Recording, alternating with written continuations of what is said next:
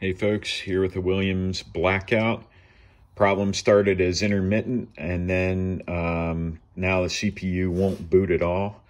I checked with the logic probe and although it is getting all the right voltages, which I checked with my DVOM, um, and it is getting um, a reset, which I checked with the logic probe, but it is not running. Uh, the address and the data line show no activity. It is getting a clock on pin 38, um, sorry, 39.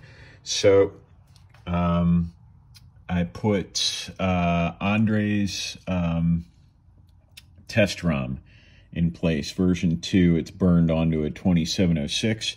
By the way, I've replaced the CPU socket and all the ROM sockets.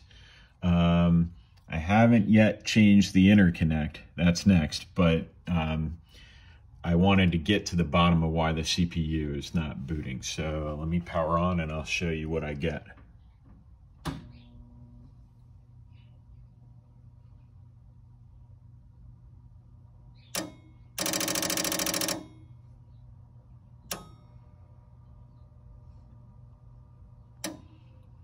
Now we're into the PIA uh, pulsing mode. And so what I think this means is that uh, I think it's showing there's a problem with uh, chip 16, which I think is the 6800, uh, 6810 ROM.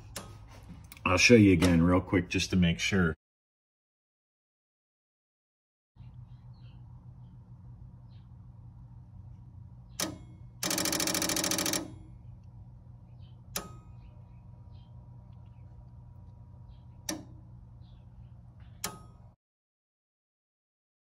And just in case anyone's curious, I've rebuilt the uh, power supply, all new caps, uh, new diodes, uh, cleaned and tightened all the connectors. So anyways, any feedback is much appreciated. Thank you very much. Oh, do I need to click this? One. Okay.